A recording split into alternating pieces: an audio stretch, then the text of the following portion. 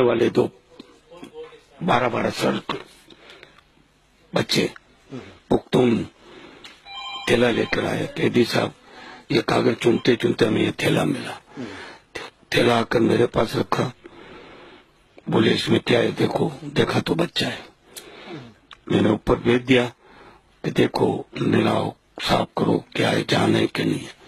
مرا ہوا۔ دیکھے، غریب کے دل میں اتنا درد ہوا۔ یہ کام کرنے والے بچے کو پھینک دیتے ہیں۔ کیوں پھینکتے ہو؟ مت پھینکو۔ کتنی عورتیں کتنے گھر بغیر اولاد کے تڑپ رہے آپ زندہ دے دو۔ اور آپ کون سا گناہ کیا ہے؟ جب بالغ ہیں آپ نے اپنے پھیل کیے۔ تو آپ کی تو شادی ہو گئی۔ جو بچہ پیدا ہوا وہ آپ کا جائز بچہ ہے۔